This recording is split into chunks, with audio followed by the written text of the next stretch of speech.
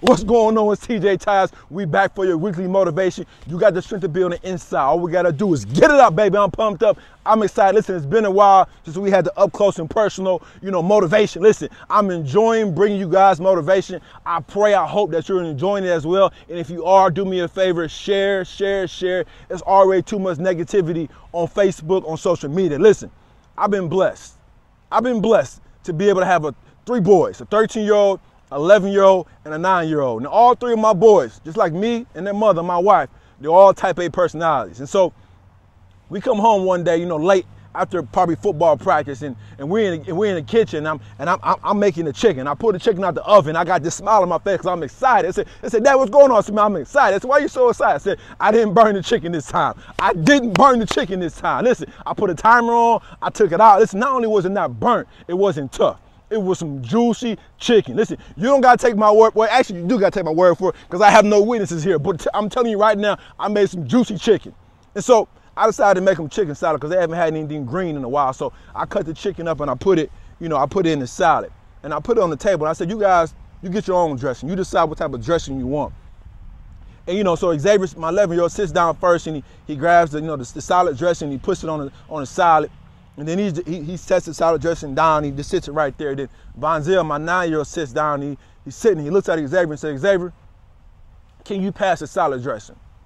Xavier looks at the salad dressing, looks back at Vonzel, and he says, no. So Vonzel looks at Xavier perplexed, and he says, what? So for the second time, Vonzel says, Xavier, can you pass the salad dressing?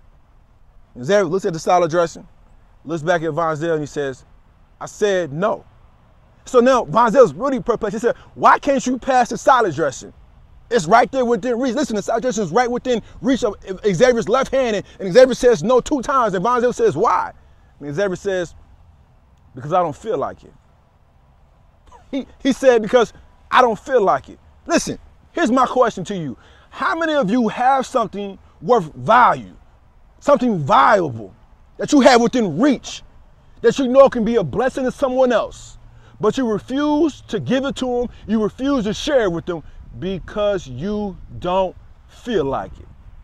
You know who you are. Listen, I'm asking you to look on the inside right now and be honest with you. You don't gotta be honest with me, but be honest with yourself. How many of you have something that you know is of value that can be a blessing to someone else, but you refuse to share because you don't feel like it? I got news for you, baby boy. I got news for you, baby girl. It's not about you. As a matter of fact, it's not about your feelings who cares how you feel right now? If you only did things when you felt like doing them, then you will never do anything great. I'm gonna say it again. If you only do things when you feel like doing them, then you will never do anything great. And the greatest thing you can do is be a servant to other people. The greatest thing you can do is to be a blessing, to be a giver. Because when you give, it should be given to you, pressed down, shaken together, running over. Listen, I know you heard it in a good book, but I practiced it. My career, my life, my family did not go to the next level until I learned the power of giving, the power of serving. So, how many of you within the last year has been standing in, in, in, in a grocery line? And you overheard somebody, you know, in front of you who who didn't have quite enough to pay for their groceries, and how many of you, you know, stepped forward and paid for their groceries? Or better yet, how many of you were standing in the grocery line? You had no idea they can afford or not, but didn't care, but said, let me buy your groceries today. How many of you knew that your cup running over and you said, my cup running over, I want to be a blessing to someone else? How many of you, when you got that email from your school, and the email said, know, we, we, have, we have a fund for kids who are less fortunate, and you can donate money to help them to be able to go on a school trip. How many of you responded to that email and donated money to help those kids who can't afford it? Better yet, how many of you were sitting in, in line headed to work and you were rushing and there was a car sitting there and you knew they were trying to get out and it was like 10, 12, 15 cars deep and you knew, you knew that they would not get out for a very long time and you had the opportunity to let them out, but you sped up.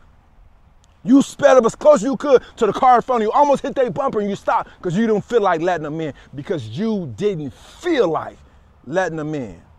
How many of you have something of value that you know could change somebody's life, but you're not sharing it because you don't feel like it? How many of you have the knowledge, the expertise? I'm not talking about money anymore. Nothing. I'm not talking about. I'm talking about how many of you can give somebody some knowledge, can help them go to another level mentally, emotionally.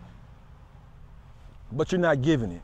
You're hoarding it to yourself to make yourself look good, to make yourself look important, because you don't feel like giving to someone else. Listen, it's not about you. It's about other people. This life. It's about relationships. Your mother, your father, your wife, your husband, your girlfriend, your boyfriend, your kids, the stranger. Can you be a blessing to a stranger today? Can you be a blessing to a stranger this week? Can you be a blessing to a child today? Because if you can, if you can give to them, and if you can learn to be a servant, you just might change their life.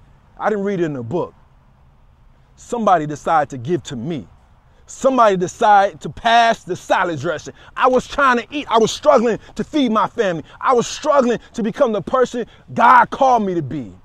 And someone stepped in and noticed that I had my chicken salad and it was dry and I needed a little bit of salad dressing just to make it taste that much better. You have something of value that you can share with someone to make their life that much sweeter. Why won't you do it? You got the strength to be on the inside. All we gotta do is get it.